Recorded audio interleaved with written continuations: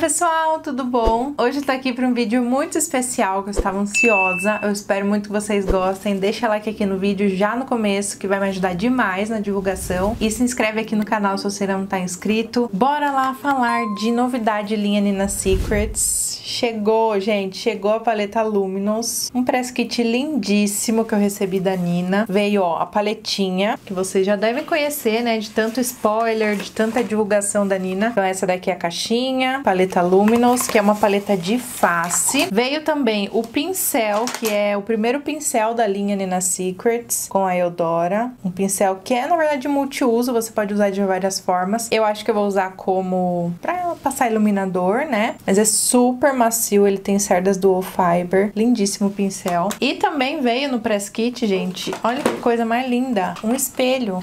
Aqui veio Nina Secrets, linha Nina Secrets. O meu veio com preço. Errou feio, errou feio, errou rude. Aqui você pode colocar o celular e aí você liga na tomada. É um presente, né? No press kit. E aí você liga na tomada, o espelho liga aqui tudo. Eu achei bem legal, muito fofo. Queria mostrar pra vocês. Bom, gente, a paleta, ela tem quatro cores. Já enfiei meu dedão, né? Como vocês estão vendo. Uma é um iluminador, dois tons de blush, sendo que um é mate e o outro tem brilho. E um tom de bronzer, tá? Então, assim, aquela paleta multifuncional que a gente usa demais pelo menos eu amo. De blogueira, eu não tenho tantas. Eu sei que vocês vão pedir para comparar com a da Mari Side, mas eu não tenho. Então, é isso. Primeiramente, eu vou fazer alguns swatches e fazer algumas comparações, e aí depois a gente faz a aplicação, tá? Vamos começar falando então do iluminador. O iluminador da paleta, gente, é lindíssimo. Eu sei que vão me perguntar se ele é igual ao iluminador da Nina, que ela já tinha lançado individual. Vou colocar aqui para comparar. E olha a pigmentação desse iluminador, gente. Vocês têm noção? Ele é lindo e ele tem uma vibe muito champanhe, sabe? Ele não é perolado, ele é mais champanhe, ou seja, ele tem um fundo um pouquinho mais pro dourado, tá? Ó, ele tem um brilho, um reflexo bem espelhado, daquele que reflete bem a luz. Já vou colocar aqui do lado o da Nina, que foi o primeiro que ela lançou. Esse daqui é o iluminador rosé. E assim, já só de encostar, eu, eu senti a textura diferente. Eu acho que eu vi a Nina falando que é realmente uma textura diferente mesmo que eles colocaram. Eu não sou tão fã desse iluminador que a Nina lançou primeiro. Não sei porquê, eu sinto que ele é muito carregado, assim. Ele é muito. Quando a gente passa, se você não passar com muito cuidado, se você forçar um pouquinho, ele é tão pesado, assim, que dá uma arrastada, assim, sabe? Ou, não sei, gente, quando você vai delicado, parece que o brilho não fica. Então, assim, a textura do primeiro não era muito fã. Vamos ver como que tá esse segundo, mas só de encostar eu já vi que é diferente. E, se não me engano, eu ouvi ela falando que eles mudaram realmente a textura, tá? Então, assim, ó, o primeiro é rosa, rosé, né? Bem mais rosadinho. E esse daqui da paleta, ele é champanhe, com fundo dourado. Vou tirar aqui o dela, só pra colocar aqui alguns pra gente comparar. Na verdade, assim, alguns não. Eu, sinceramente falando, eu testei aqui vários, com, fiz vários comparativos, assim, e é um, um iluminador bem diferente. Eu comparei com alguns, assim, que eu tenho mais champanhe, e achei todos muito diferentes, assim. Mas o que mais chegou próximo, assim, que é bem conhecido, é esse aqui, ó, o Mare Luminizer da The Balm. É um iluminador bem famoso e ele tem mais ou menos essa pegada. Não vou dizer que é igual, mas lembra, assim, sabe? Dá pra ver que o Danina brilha mais, né? E o Danina, ele é um pouquinho mais dourado. Então foi o único, assim, que eu tenho. Obviamente eu não tenho todos os iluminadores do mundo, mas que eu vi ali alguma semelhança, sabe? Então, assim, tô bem ansiosa para aplicar ele na minha pele. Vamos ver como que vai se comportar. Mas vamos falar então agora sobre os blushes, tá? O blush com brilho. Olha, gente, já dá pra ver que o bichinho... Deixa eu tirar aqui. Já dá pra ver que ele brilha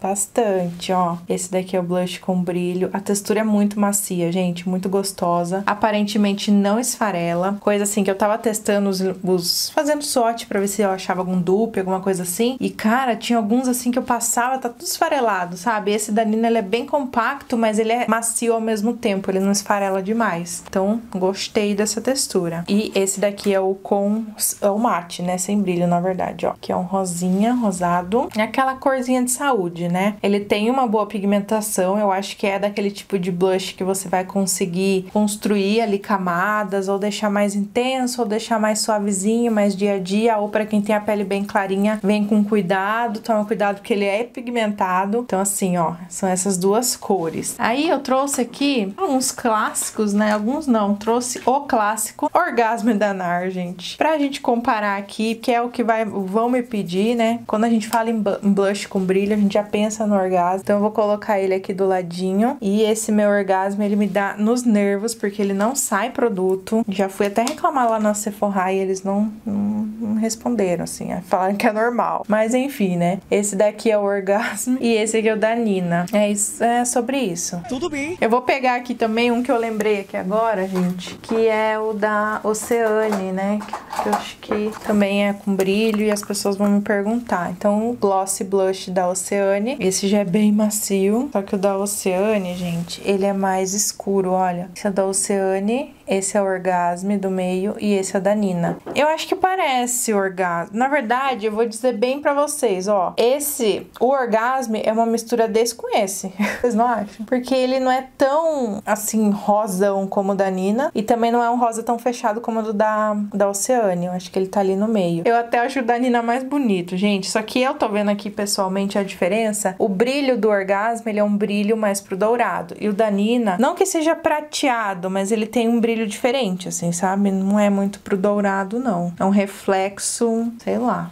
Não é dourado, não sei distinguir aqui, não sei. E esse daqui eu acabei nem pegando nenhum para comparar, porque blush sem brilho assim a gente tem, né, de várias marcas e tal. E eu acabo que importada, assim, conhecidona, não tenho muitas não. Então trouxe só o Orgasmo mesmo, que é muito famoso. E agora vamos pro bronzer. Ó, gente, vou colocar aqui a cor dele. Ai, é muito macio, gente. Desliza na pele, olha. Maciez. Esse daqui é o bronzer. Ele não tem brilho. Não sei explicar se ele tem brilho ou não. Será que tá falando aqui? Textura leve, efeito bronze suave, textura veludada, fácil de esfumar e longa duração. O iluminador, eles falaram aqui que é ultra partícula de brilho, acabamento cintilante e iluminado, textura leve, alta pigmentação, longa duração. E os blushes têm efeito saudável, natural, com alta fixação, uma com brilho e uma mate aveludada. E aí eu também fui pegar aqui vários que eu tenho, né? Mas eu senti que o da Nina, ele é o mais quente, assim, dos que eu tenho, mais famosinho, sabe? Então, ó, esse daqui é o Chocolate Soleil da Too Faced. Ele é um pouquinho mais frio. E ele tem um certo glow, assim, mais ou menos. Vou pôr aqui também o Bahama Mama, da The Balm. Ó, esse daqui é o Bahama Mama, também é um pouquinho mais frio que o da Nina, que é o do meio. O Laguna, da Nars, que também é bem famoso. Ah, eu trouxe o Rula também. Deixa eu pôr aqui. O Laguna, olha, ele é bem clarinho, que é o Laguna. E esse é o da Nina. Eu acho que o Laguna também tem essa pegada mais quente, assim, só que ele é bem mais claro, tá? O Rula da Benefit, coloquei aqui, ó, gente, não dá, quase não dá nem pra ver, ó. Esse aqui é o Rula e esse é o da Nina. Parece, mas assim, o Rula é bem mais claro, tá? Eu sei que tem outras versões do Rula agora, né? Tem um Rula mais escuro, se não me engano, mas os que eu tenho é esse aqui, o clássico mesmo, tá? Então, assim, eu achei parecido, mas eu acho que o da Nina é mais forte, sabe? Mas ele tem esse subtom mais quente de bronzer. E agora chegou a hora da gente fazer então a preparação aqui, ó. Vamos utilizar a paleta. Eu vou pegar um pincel assim fofinho. O bronzer, ó, encostando, eu senti que ele deu uma esfarelada. Eu falei que ele era bem compacto, né? Mas olha como saiu o produto aqui na paleta. Tem que dar uma batidinha. Ai, gente, tô com medo. é, ele é bem pigmentado. Tem que cuidar, gente. Gente, a textura é muito macia, sabe? Ele realmente dá uma esfareladinha, então tem que dar, ó, antes de passar na pele pra não sair demais, né? Mas assim, é muito fácil de você fazer, olha, a aplicação. Eu tô fazendo mais como se fosse um bronzeado, né? Como vocês estão vendo, não tô fazendo tanto contorno. É mais para dar esse bronzeado aqui no rosto, mas eu acho que dá também para fazer assim contorno bonitinho com ele. Vou passar um pouquinho aqui assim, ó. E eu gostei bastante da cor. É uma cor mais quente, esfuma muito bem, funde bem com a base, ó. Na verdade eu já tava com a pele selada, né? Mas eu gostei bastante. Agora vamos pro blush. Eu vi lá a Nina falando que gosta de passar o blush mate e um pouquinho do blush iluminador por cima. Gostei dessa, dessa dica, então é isso que eu vou fazer. Eu vou passar o blush mate também, olha. Olha como já gruda produto no pincel, que já é uma corzinha muito bonita. É a cara da Nina essa paleta, né, gente? Porque ela adora rosa e eu achei bem a cara dela. A paleta, a cor da paleta é linda, né? Como a primeira falecida paleta dela. Saudades. Um blush bem bonito. Acho que desse lado aqui exagerei, né? Eu sempre exagero, gente. Agora eu vou passar um pouquinho do blush iluminador. Deve dar um efeito legal. E é uma dica também para quem não quer passar iluminador de dia, mas quer brilhar um pouquinho, sabe? Você passa um blush com brilho. Então você já meio que tem os dois produtos em um só. Eu não quis passar muito porque eu fiquei com medo, gente. Ficar mais. Mas dá pra ver que ele tá brilhando, ó quando vira assim, né? E agora de iluminador, primeiro eu vou passar minha bruma, que é o que eu sempre faço, né? Passo uma bruma antes do iluminador. Espero dar uma secadinha na pele, isso aqui também vai ajudar a fixar tudo que a gente usou já. E agora eu vou usar também o pincel da Nina, né? Que é essa novidade aqui, esse pincel maravilhoso. Vamos ver, ó, já tá carregando produto também no pincel, gente. Esse iluminador aqui deve ser um escândalo. Que medo.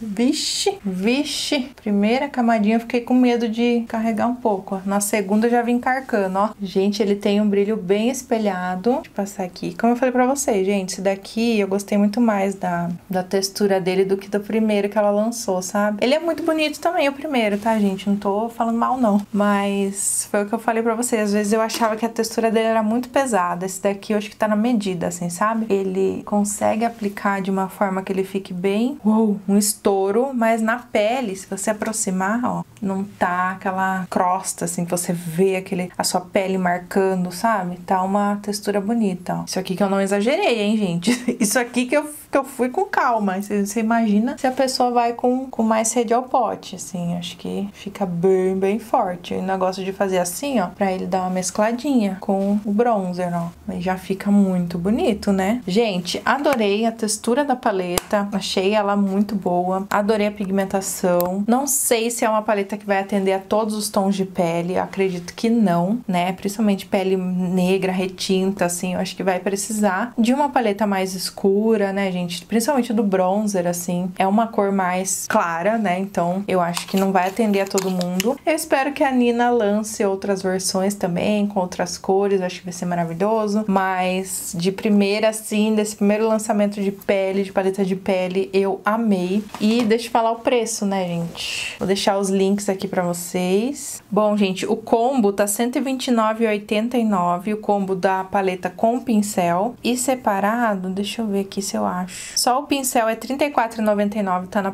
na promoção lá no site. E a paleta custa, no total, no valor cheio, R$109,90. E na promoção, R$94,90. Eu vou deixar pra vocês os links aqui embaixo. E é isso. Comentem aí se vocês têm o da Mari Saad, a paleta né, dela multifuncional, se vocês gostaram e tudo. Ai, eu esqueci, gente. Eu ia fazer uma comparação.